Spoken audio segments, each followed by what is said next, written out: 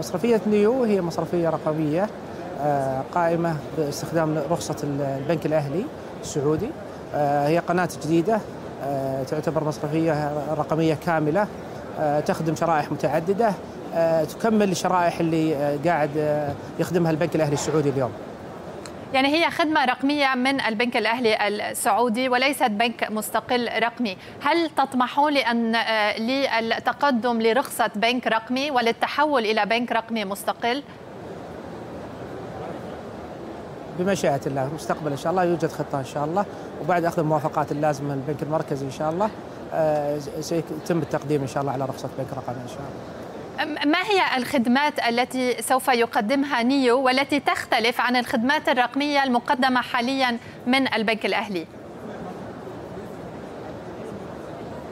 طبعا الخدمات الرقمية ما شاء الله في المملكة العربية السعودية متقدمة كثير فالفارق راح يكون في آلية تقديم الخدمات وشرائح المستهدفة آه، غالبا شرائح المستهدفة هي شرائح الشباب آه، شرائح آه، العمل الحر في المملكة وشرائح أيضا العمالة العمالة المنزلية.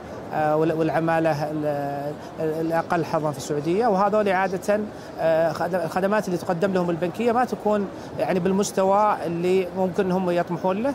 فطبعا لعدة أسباب. فتخصصنا في نيو في تقديم الخدمات هذه. آه، زي ما أنت عارف الشريحة هذه غالبا البنوك يعني أداة ربحية. الشريحة هذه ليست شريحة مربحة من ناحية التمويل لأنها غالبا لا يعني لا تستفيد من خدمات التمويل. لذلك الخدمات اللي تقدم لها في الغالب ما ما تكون يعني سلسة وسهله لهم وكان كثير منها يتم عن طريق الفروع. الآن إحنا أتممنا العمل أن الخدمات كاملة تكون تقنية. من من أول شيء من فتح الحساب آه، كان يأخذ يمكن يومين ثلاث أيام لأي أحد إنه يفتح حساب سواء كان آه، صغير في العمر أو كان عنده عمل حر أو كان عنده آه، يعني من العمالة اللي جاية السعودية. الآن خلال أقل من دقيقة يقدر يفتح الحساب.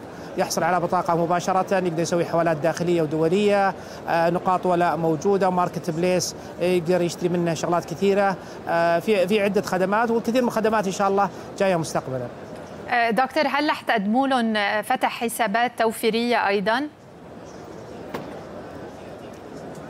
مستقبلا إن شاء الله في خطط للاستثمار والتوفير وغالبا لل youth segment لفئة الشباب آه، لأن هذه فئة يعني مستهدفة وعليها تركيز آه، يعني يعني رؤية المملكة في 2030 متوجهة لخدمة الشباب والتركيز عليهم ودعمهم وهذه من اهم الأشياء اللي إحنا نحاول نحاول ندعم فيها الآن. فالمنصة بتكون أكثر من إنها منصة بنكية.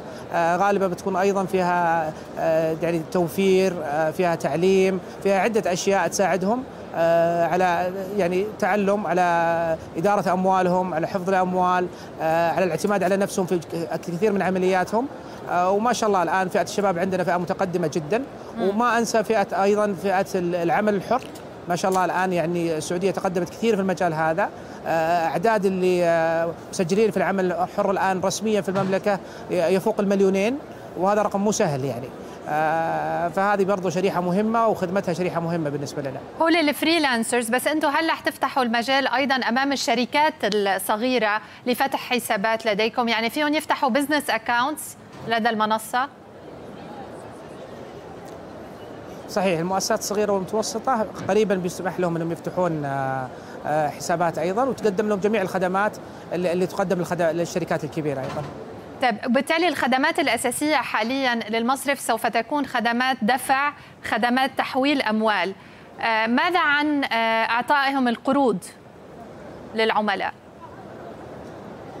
حاليا لا حاليا طبعا راح يكون موجود آه، يعني منتجات اللي هو يسمى micro finance التمويل متناهي الصغر لعدة بعض الشرائح يعني تطابق الأنظمة السعودية. آه، بالنسبة للمؤسسات والشركات خصوصا أيضا العمل الحر هذه من الأشياء اللي حقيقة نحاول نكون سباقين فيها.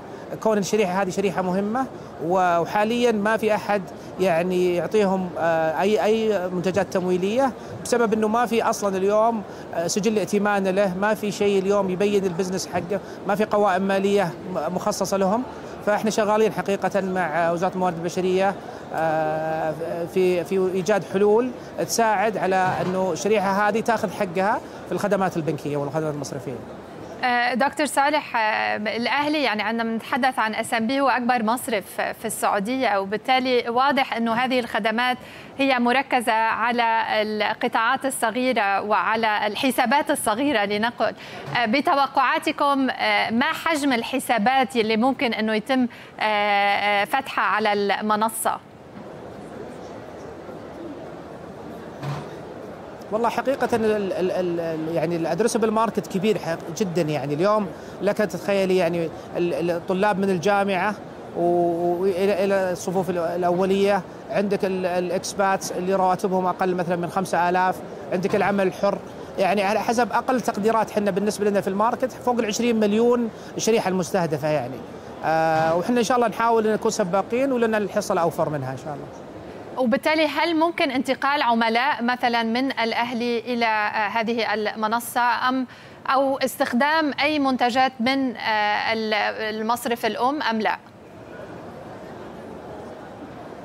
صحيح هو اليوم العميل خصوصا يعني العميل السعودي آه، واعي وعنده أكثر من حساب. فبالتالي هو قاعد يشوف وش القناة اللي تقدم له الخدمات اللي هو يحتاجها. ما في شيء يمنع اليوم من أي أحد عنده حساب في البنك الأهلي إنه يفتح في نيو والعكس أيضا ممكن يعني. آه، فهو يعتمد على شريحته. إذا كان مثلا من الشريحة اللي تهتم بالأشياء اللي لها علاقة بال lifestyle بال youth آه، ممكن قريبا إن شاء الله موضوع ال education وال gaming والشغلات هذه وال lifestyle فهذا غالبا يعني يمكن يلقى يعني اللي يبغاه في في نيو أكثر ما يلقاه في في تطبيق البنك. طبعا زي ما قلت يعني البنك ما شاء الله هو البنك الأكبر في المملكة. آه، فبالتالي خدمات البنك يقدم خدمات بنكية عالية المستوى.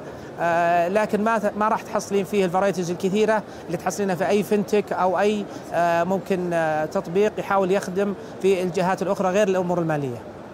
عندكم تقديرات دكتور صالح لحجم الأعمال مثلا بعد سنة من إطلاق المصرف؟ كم تتوقعون أن تنمو؟ كم تتوقعون أن تبلغ الحصة السوقية لديكم؟ من سوق فيه منافسة كبيرة الآن ليس فقط من القطاع المصرفي بل من آه، قطاعات الفنتك بالطبع قطاع الاتصالات وغيره صحيح. والله إحنا أنت عارفة يعني ما شاء الله البنك الأهلي بنك سباق.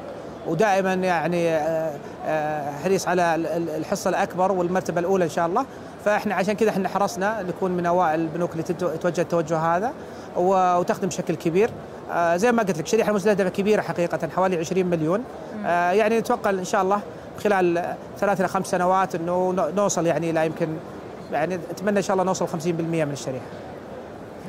وعندكم تقديرات لحجم نمو الأعمال؟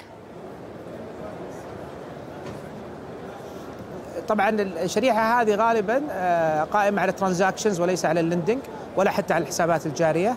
فهو بيعتمد بشكل كبير على الخدمات الإضافية اللي جالسين نقدمها العلاقات والبارتنرشيبز اللي قاعدين نسويها الآن مع مع عدة جهات تقدم خدمات لهم. الفكرة إنه يكون آه، نيو هو يعني مكان يحصل عليه الشخص يحصل فيه يعني كل ما يحتاج. من الخدمات اللي يبغاها ويسهل عليه آلية الدفع بشكل كبير وحفظ حفظ أمواله من يتنقل من من تطبيق لتطبيق وهذا إن شاء الله يعني راح يكون له مردود كبير. آه، أيضا ما نغفل عن موضوع الحوالات الدولية. الحوالات الدولية يعني شيء مهم بالنسبة في المملكة. المملكة آه، بين رقم اثنين ورقم ثلاثة عالميا في آه، في نسبة الحوالات الدولية.